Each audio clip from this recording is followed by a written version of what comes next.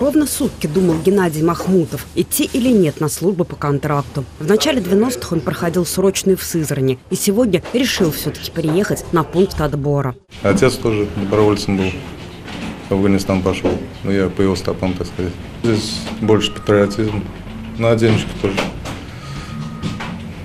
Будет что семье. В день ВДВ на второй очереди набережной Волги развернут мобильный пункт отбора на военную службу по контракту в Самарский батальон, который сейчас формируется на территории региона. Самарский батальон – это именное подразделение Самарской области, которые будут выполнять задачи специальные. И они формируются из жителей Самарской области.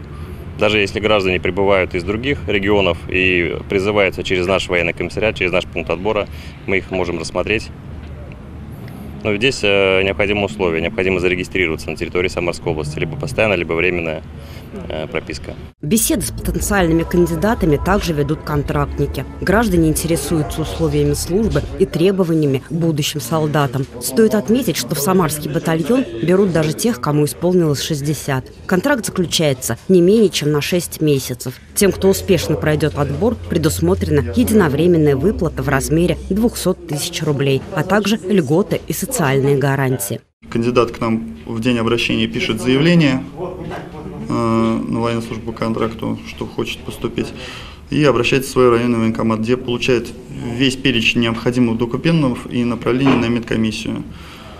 Э, кандидат, в принципе, формирует все это личное дело, и прибывает к нам. Помимо мобильного пункта, который будет работать до 10 вечера, 2 августа в областном центре действует еще и круглосуточный на улице Ленинской, 147. Только в этом году на контрактную службу в войска отправились более 400 жителей региона. Светлана Тимофеева, Николай Сидоров. События.